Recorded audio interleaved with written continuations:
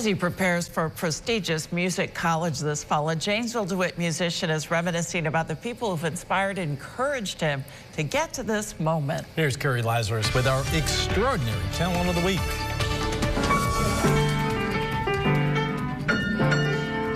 Hearing his grandpa and his dad play piano was a huge influence on AJ FICO. I wanted to be able to do it myself.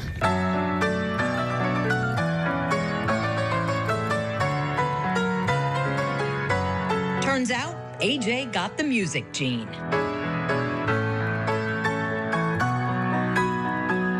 AJ says music has given him something nothing else has.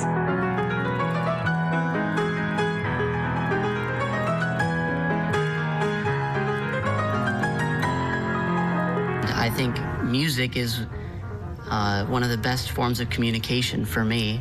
Uh, it conveys stuff that I can't really put into words.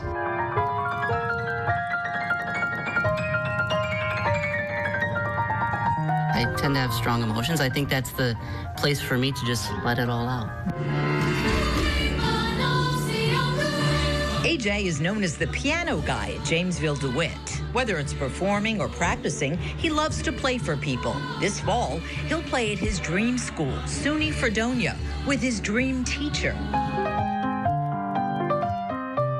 who shares AJ's romantic style of playing I'll have goosebumps all over my arms just from playing it. I, I, I chase that sensation, that thrill and adrenaline uh, in all of the pieces I play. It's funny because I had goosebumps when I was listening to you play. You were I, having I did too? my job successfully. That's a good thing.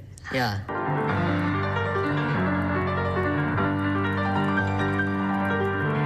AJ FICO, our extraordinary talent of the week.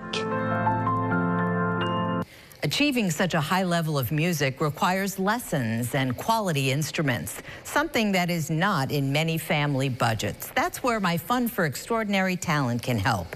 If you'd like to assist young students, go to cnycf.org slash extraordinary.